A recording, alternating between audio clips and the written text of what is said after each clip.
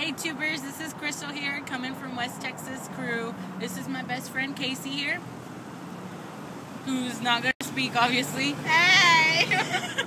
We're outside of HEB, just chilling, waiting on one of my friends. Um, this is pretty much just an update. I know I haven't done any videos in a really long time, but um, I wanted to let you guys know that I'm gonna be doing a video diary.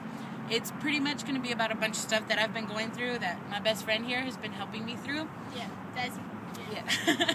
and um, I really need to get a lot of this stuff out. I mean, as you guys can tell, I am overweight and I'm going to have a surgery in about a couple months um, to help me lose weight. And I'm terrified, like seriously terrified. And I really need like an outlet. And I would love feedback and comments, good or bad. I don't care. You're not going to hurt my feelings. I But love you. I love you too. As you, you can see why I love her. She's she's the bomb. She's she's my shit. Not literally, but but yeah, I just want to let you guys know that that's what's gonna happen. Um, let me know if there's any kind of videos that you want me to start posting. Um, so far, all I can think of doing right now is these video diaries. I am gonna start doing some like um, short movies um, of a bunch About of bananas. not about bananas.